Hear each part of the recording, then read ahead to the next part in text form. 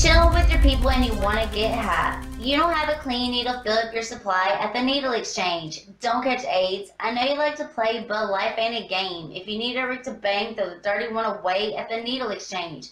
Don't catch AIDS. Needle exchange is a positive place. You don't need an ID or your government name. All you gotta say is what county you are from, whether male or female, they will hook you up at the needle exchange.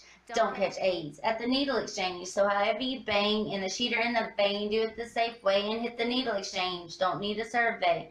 Figure out why. Everybody's fucking or trying to get high. We can all agree to disagree that everybody loves. One of the three, money, sex, or drugs. Busting a nut or catching a buzz, so before you get nude and have sex with your neighbors, come get some free condoms and lube of all flavors. Don't forget the cookers, ties, or tourniquets.